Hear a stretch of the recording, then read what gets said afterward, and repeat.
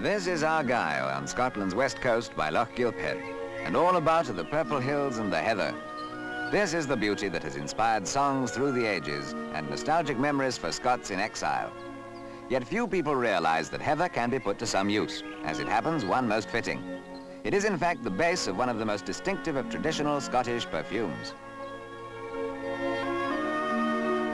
The scientist who has created not only the scent of heather, but other Highland perfumes is Mr. MacAindreis, a descendant of the first House of Stuart, whose love of Scottish tradition is evident in the names and character he gives to his scents. Anyway, to return to the process, having bruised the heather as we saw, we're ready for the distilling. This, of course, being a land of experts when it comes to distilling, although scent is not usually the end product.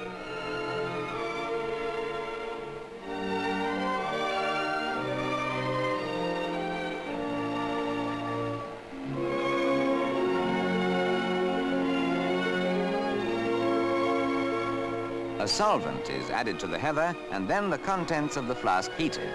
This eventually, with blending and maturity, will become heather bloom, which sounds romantic enough, as does the Stuart white rose or Scottish orchid.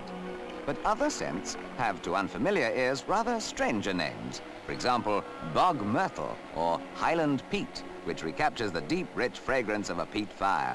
But to a Scot away from home, even the names can conjure up beauty.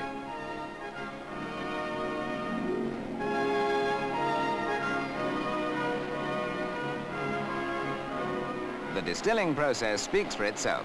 The escaping steam passing through a condenser and dripping off into a bottle to be later added or returned to the perfume proper in the flask.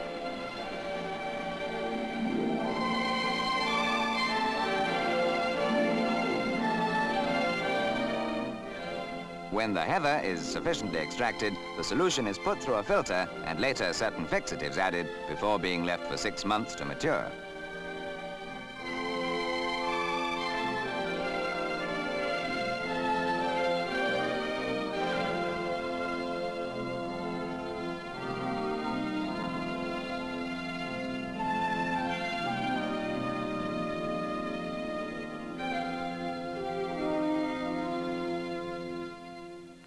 The scents of the Highlands may not sound terribly exotic compared with, say, Nights of Passion, but to the connoisseur and Scots all over the world, it conjures up all the enchantment of the Purple Hills.